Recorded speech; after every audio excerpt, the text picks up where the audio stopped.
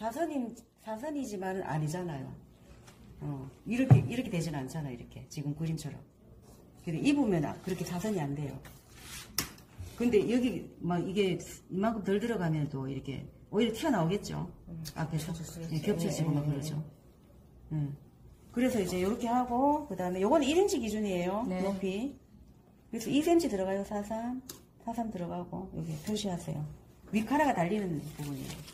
예. 그리고 뒤중심에서 1인치 들어가서 직선을 그리고 그 다음에 어깨선이랑 요 달리는 선과 연결하세요. 이렇게 사선 방향. 와이셔츠 칼라 잘 못 그린 사람 많아요. 패턴 잘 분들도 내가 이거 못 그려요. 꼭막 그려달라고 하고 그러더라. 이렇게. 2인치, 통상적으로 여기 2인치.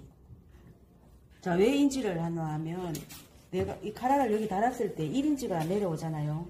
나머지 1인치는 카라 달림선에 딱 나가요. 네. 그치? 네. 달림선에 딱 이렇게 맞닿아요. 그래서 이렇게 그리고 나서, 위에 카라는 각도를 이제 넣는 거에 따라서 모양이 다르죠. 보통 90도 올라, 올라가는 선에서 그리면 요런 선이 나와요. 보세요. 90도 선에서 그리면. 그럼 거기서 더 크게 할 수도 있고, 비축하게. 또더 좁게 할수 얌전하게. 그릴 수도 있고, 이렇게. 음. 각도에 따라서 여러 가지 이제 디자인이 나오니까. 보통 90도 각도에서 그냥 하면은 약간, 음, 그래도 좀 샤프하네, 그죠? 그리고 이 선을 그냥 두면 안 돼요. 이 선을 약간 이렇게 살짝 곡선을 한번 줘요. 이렇게. 곡선 한번 주고, 또 이, 이 선도 그냥 일자로 보통 기선보 이렇게 나오는 것도 있는데 그렇게 두면 안 되고 약간 이렇게 곡선을 줘요, 여기서.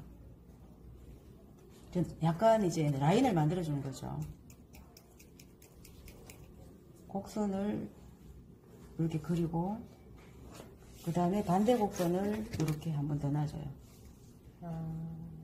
그러면 이쪽이 낫겠네.